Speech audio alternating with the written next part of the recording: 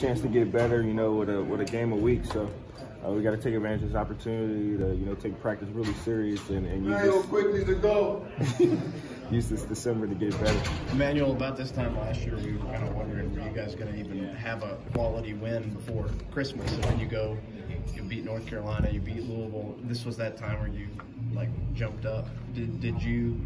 Is there anything you remember about what where you made that progress last year? Um, I really think practice. You know, this time last year is, was really like I guess the, the Camp Cal where two of days star classes are over, uh, and all we doing is going uh, in the morning, going in the evening, going out to dinner, and then restarting it every single day. So uh, we spend time with each other. We get you know real familiar with each other, and, and that's a chance for us to get better. Are you guys keeping an eye on those teams you're going to play out? And, you know, at, at the end of the month here, Louisville and Ohio State, obviously with a couple of big wins this week. Uh, yeah, we see we see the scores and, and see the games a little bit, but right now we just kind of you know worried about one game at a time. Uh, just knowing that any team could beat you. You know, we got Fairleigh Dickinson coming up, and they're a really good team, so we got to be ready for them.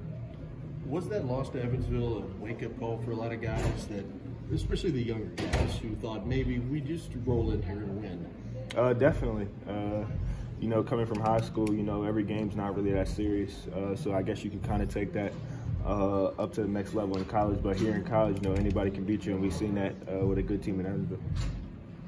What do you know of Fairleigh Dickinson, if anything? Uh, don't know a lot. I'm sure we'll watch a little bit of a little bit of film and scout report today uh, and get a feel for them. How much do you guys watch? Because usually when we talk to you guys, all of you say, "Wow, we haven't really seen it." How much do you watch, and how close to the game do you watch it? Uh, what you mean? Oh, the opponent. Um, we that's one of our big things, the scout report. You know, knowing who we're going against. Uh, for the guards, knowing if you got a shooter or a driver. For the bigs, knowing which hand they like to turn to to shoot jump hooks and stuff like that. Uh, so that's going to be a, a big key for us. You said you feel like you've become a much more vocal leader on the floor. How much have you seen that transpire just in the recent games you've had?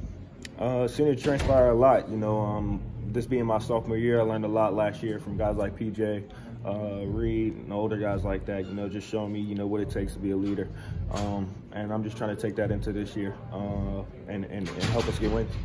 Do you guys pay much attention to what's going on just in college basketball in general? There's been a lot of crazy games. We're only the first week of December. Yeah, uh, I definitely individually, yeah, I definitely take. it. I'm just a, a, basketball fan, so whether it's college, NBA, I'm always watching basketball. You know, that's just something I, I love to watch. So uh, yeah, especially even the teams that we got, uh, you know, coming up. You know, you just you see uh, everybody's doing pretty good, so you know we got to be in our p's and q's and be ready to play. What's Cal been preaching the last week?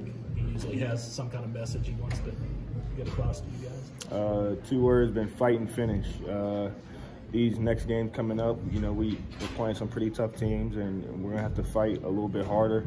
Uh, and then finishing games, the last five, four minutes of the games, you know, he's been preaching that we got to, you know, stay locked in, stay focused.